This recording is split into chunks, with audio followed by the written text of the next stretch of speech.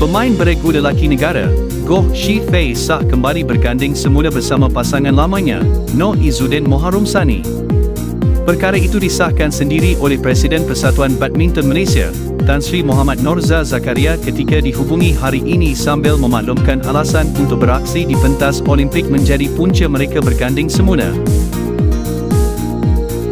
Sebelum ini, Shi Fei Izzuddin membuat keputusan untuk membawa haluan sendiri pada penghujung Januari lalu selepas kedua-dua mereka tidak sebulu.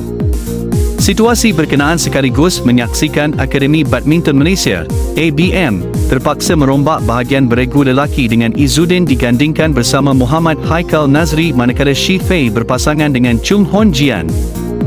Dalam pada itu Norza berpandangan, impian Olimpik buat Shi Fei Izzuddin sekiranya mereka benar-benar fokus memandangkan ranking dunia mereka tidak terlalu jauh ketika ini.